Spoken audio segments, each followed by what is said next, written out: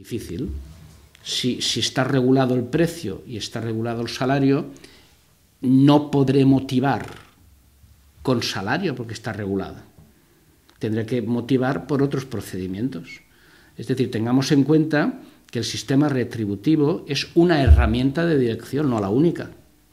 Y además es una herramienta de, dirección en determinadas condiciones. Si el Estado me dice usted tiene que pagar 10.000, pues a no ser que esté dispuesto a además pagar más, no podré motivar con el dinero, porque lo tengo tasado llueva, truene, haga frío o calor, tengo que pagar 10.000, pues no puedo motivar con eso, a no ser que pueda, a no ser que yo desee pagar por encima de lo obligatorio.